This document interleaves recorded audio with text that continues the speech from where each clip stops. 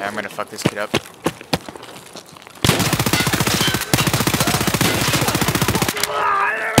Oh!